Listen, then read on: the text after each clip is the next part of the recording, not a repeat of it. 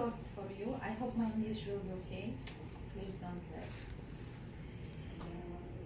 Today you're 18. And this is amazing.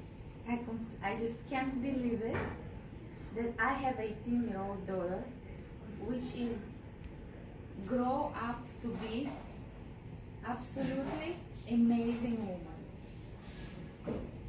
Close to perfection. Gorgeous, smart, with very good manners, loved by everyone around, a very strong personality, the inside power that you have in you, I'm sure I don't have. And I'm so proud of you, and you, you're an amazing student, and you you have amazing. She, she was she for. Ambitious. Ambitious in your life. You go on straight path and you stick to it. And this is so um, admirable. Admirable. And you do it successfully also. And in everything you see positivity.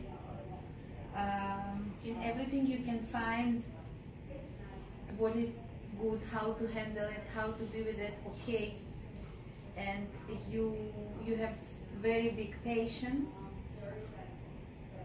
You're very patient person. I know what you're talking Not- about.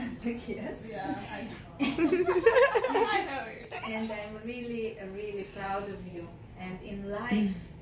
all those Qualities. all those qualities will help you to get to the goal and to have perfect life that you want to have, not to do mistake. Exactly. uh, to do and to live the way you want to. Okay?